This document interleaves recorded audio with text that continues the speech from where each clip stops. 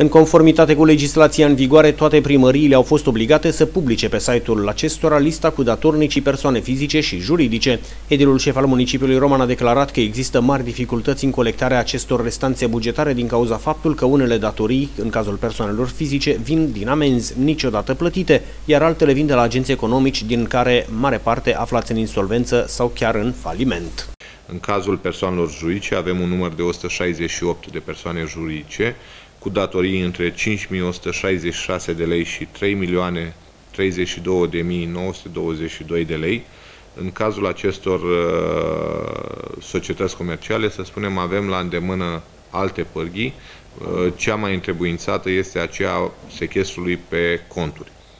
Așa cum spuneți și dumneavoastră, există o serie de societăți din acelea foarte vechi cu datorii care provin din epoci de mult apuse, acolo când uh, se știa tot timpul că mai venea un guvern, mai dădeau o radiere a datoriilor și își permiteau să acumuleze aceste datorii. Însă aceste lucruri nu s-au mai întâmplat de ceva vreme și iată că aceste societăți, din păcate, au intrat în uh, insolvență sau în faliment, perioadă în care noi ca și autoritate publică locală nu mai avem competența legală să aplicăm sechestre pe, pe conturi sau pe, pe bunuri. Ne înscriem la tabloul creditorilor și în măsura în care se recuperează aceste sume, ne recuperăm și noi sumele de bani. Și am avut situații de la anumite societăți, Umaro, de exemplu, anul trecut, dacă vă aduceți aminte, unde am încasat aproape 9 miliarde de, de lei vechi.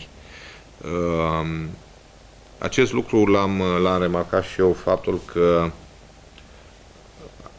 avem o perioadă sau o, o sincopă în recuperarea acestor uh, sume, drept pentru care la nivelul Direcției de Taxe și Impozite Locale s-a creat prin organigramă, dacă vă aduceți aminte, la ședința din luna decembrie, dacă nu mă înșel, acel post de, acel birou de recuperare creanțe, care va trebui să fie mai eficient în activitatea de recuperare a acestor sume de bani și pentru a nu mai lăsa să se acumuleze aceste sume mari de bani.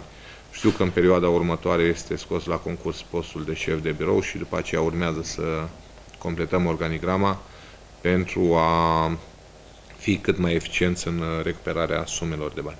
În situația agenților economici datori la bugetul local, măsurile de recuperare sunt mai la îndemână în sensul aplicării sechestrului pe conturi. Probleme majore sunt în cazul societăților comerciale aflate în faliment, unde ordinea recuperării acestor datorii o stabilește lichidatorul judiciar. Aceasta este infimă față de celelalte datorii pe care le avea Agvaservu. Eu în momentul în care am preluat Agvaservu, era firma deja, era deja în insolvență și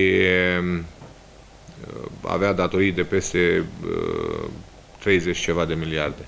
Toate aceste datorii grevează greu bugetele locale, care trebuie să evidențieze an de an aceste creanțe pe care le adună foarte, foarte greu, uneori niciodată. Pe de altă parte, se știe că statul se pricepe să pună biruri peste biruri care cocoșează agenții economici, care, la rândul lor, caută tot felul de tertipuri de a fenta bugetul de stat. În România post-decembristă nu s-au găsit niciodată politici viabile de sprijinire a mediului de afaceri care ține în spinare un sistem bugetar obez și în creștere de la an la an.